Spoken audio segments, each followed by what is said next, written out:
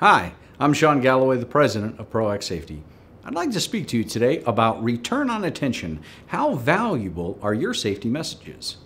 If you have 30 minutes with a group of employees in a safety meeting and you talk about a few key areas of opportunity or a few things that you really need people to know, a month passes or two, and you poll that same group and ask them to name what those three most important things were that people talked about during that meeting, and most can't tell you, you have a zero return on attention.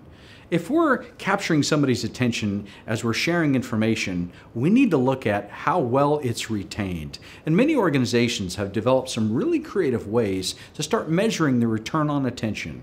One organization we looked at that had multiple safety programs throughout the operations, they went to each one of these programs and they asked the program owner, you can only ask three questions. Be concise. What are the three most important things that people need to know about this safety effort? They were already communicating well, toolbox topics, tailboard topics, all kinds of safety meeting opportunities. When they got back and they measured all, and they, they received all the data from that measurement, they realized people did not know the most important things, what we called within this organization the safety IQ. The answer was, the answer wasn't we need to communicate more. The answer was actually, how do we make our communication stickier within the operations? So look at the different things you're communicating and develop some creative ways to measure the return on attention.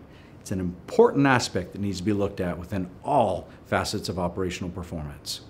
For more information on this topic, visit us at proactsafety.com.